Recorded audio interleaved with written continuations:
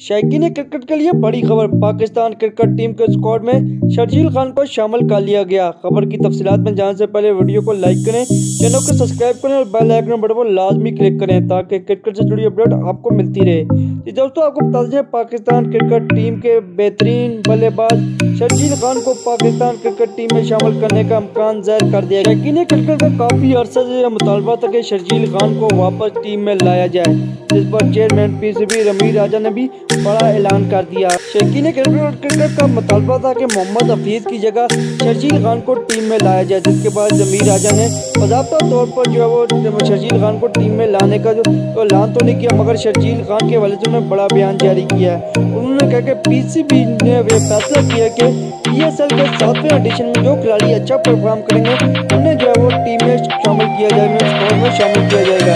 दोस्तों आपको पता है शर्जील खान एक बेहतरीन बल्लेबाज है और इसी में शामिल हो जाएँगे।